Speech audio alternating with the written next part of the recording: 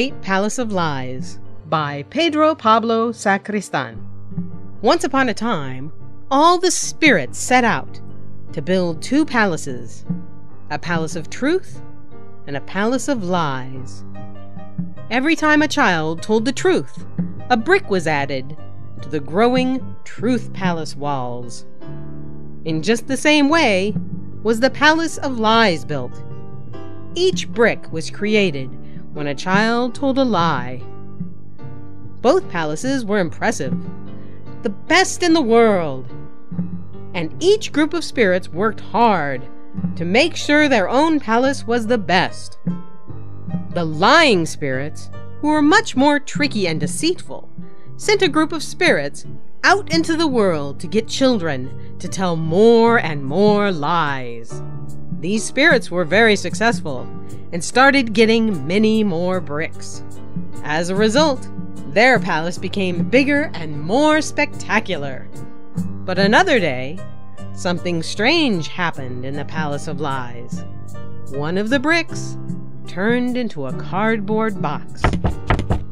A little later, another brick turned into sand. And then another turned into glass and smashed. And so, little by little, it became clear that whenever a lie was discovered, the brick that it had created changed its form. It was then crushed and finally disappeared. In this way, the Palace of Lies became weaker and weaker, and in the end, it completely fell to pieces.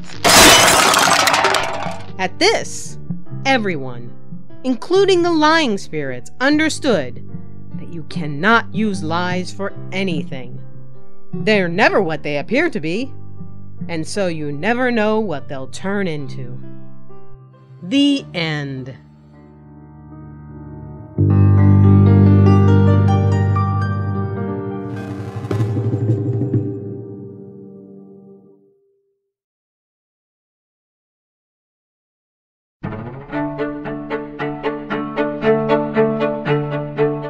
Works of the Kingdom by Pedro Pablo Sacristán.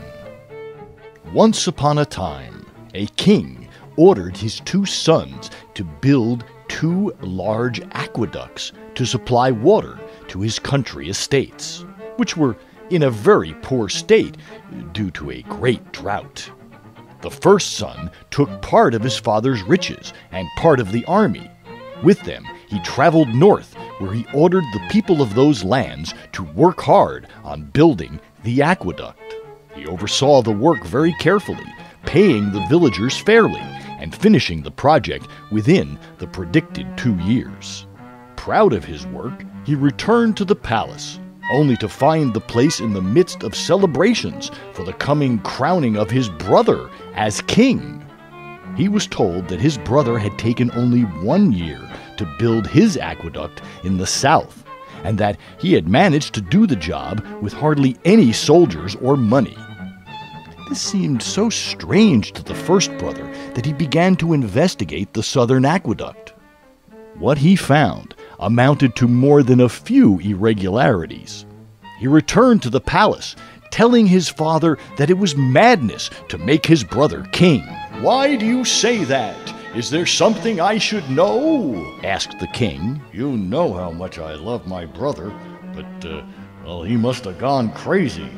He's dragged our good name through the gutter.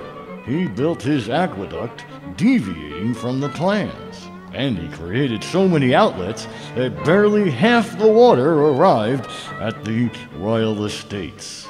He confronted the prime minister in front of the villagers, and he left without paying any of the workers. He even used your soldiers as laborers. And who knows? Maybe Maybe that's only a start. The king, gazing affectionately at his son, replied, Yes, my son, what you say is true. Your brother had the initiative to modify the aqueduct, to improve it, the wisdom to propose something which would improve the lives of everyone. And so he convinced the villagers. We hope you enjoyed this preview. To continue listening to this audiobook on Google Play Books, Use the link in the video description.